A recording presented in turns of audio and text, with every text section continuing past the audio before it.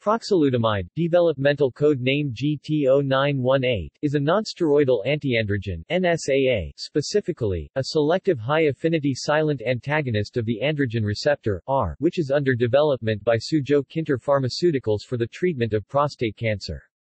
It inhibits AR-mediated gene transcription more potently than bicalutamide, by approximately 5 to 10-fold, and enzalutamide, by 2 to 5-fold, and maintains silent antagonism in castration-resistant prostate cancer CRPC, cells. It has also been found to downregulate the AR, which could further confer it greater efficacy against CRPC compared to existing NSAAs.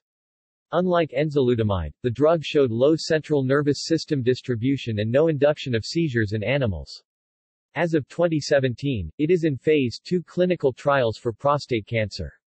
It is also in preclinical investigation for the treatment of AR-positive breast cancer. See also List of investigational hormonal agents section Androgenics References.